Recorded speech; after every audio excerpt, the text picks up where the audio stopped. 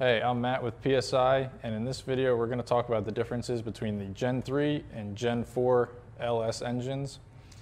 Now the first thing you're going to notice when you walk up to a complete engine like this, if you have the intake manifold, is going to be the throttle body. This one here is drive-by-cable, mechanical throttle body. That was only offered from GM on the Gen 3 engines.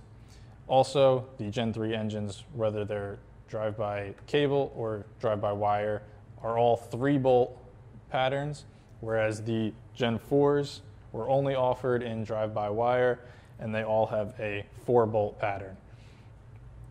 Now, the most important feature to distinguish the two is going to be, let me get the intake out of the way.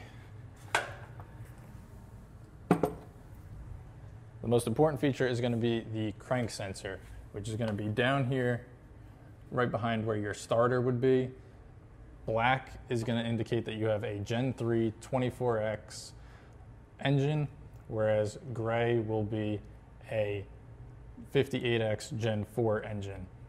Also, right in the around the same area, if you have a 58X Gen 4 engine, you will have right in front of it a knock sensor, and there will be one on that side and one on the other side of the block whereas a Gen 3 will have them up in the valley, and the valley plate will have these two big holes where they mount in. In the valley, also on a Gen 3, will be your cam sensor at the back.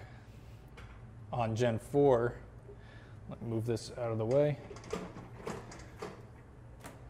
On Gen 4, your cam sensor is going to be mounted on the front timing cover. Now, this one here is non-VVT. As you can tell, it's flat across here with just the cam sensor added into it. And over here, we have a VVT one. You can see there's a bump out here.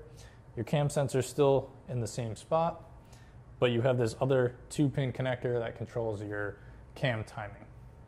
Now, in between these two, you have the LS2 engines where they have a four bolt throttle body, they have the side knock sensors, but they could be a 24X, which is where you want to make sure you check that to make sure the color of the crank sensor. Thanks for watching guys. Hope this video helped you get it wired up and fired up. Remember to hit that like button, subscribe to our channel, drop a comment with any questions about this video or any ideas that you want to see us cover in the future. And remember, you can always speak to a live team member at 732-276-8589 or at any one of the email addresses below.